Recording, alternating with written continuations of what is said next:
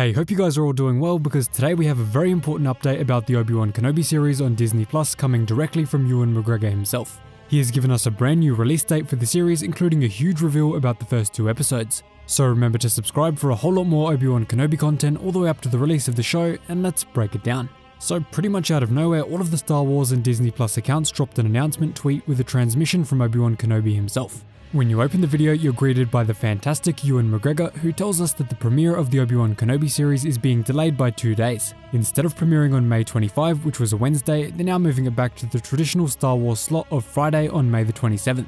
I'm personally really happy with the move back to Friday as it almost became a bit of a tradition to finish off the week with an episode of Star Wars to take you into the weekend.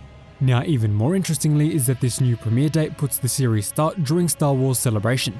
That could set up a huge in-person premiere for everyone there just like they've done in the past. They could easily show the two episodes during the day to the people who were there, and then everyone else catches it at the midnight release on Disney+.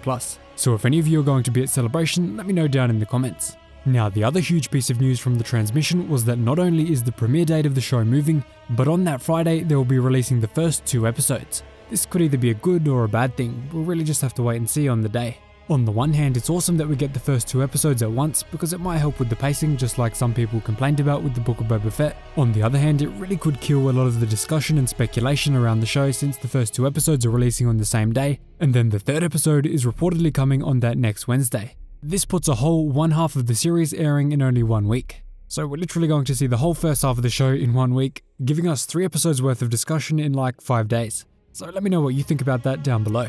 So that's all of the latest Obi-Wan Kenobi news straight from Ewan McGregor himself. Let me know how you feel about it in the comments and make sure you subscribe to join the Star Force. Cheers guys, hope to see you in the next one.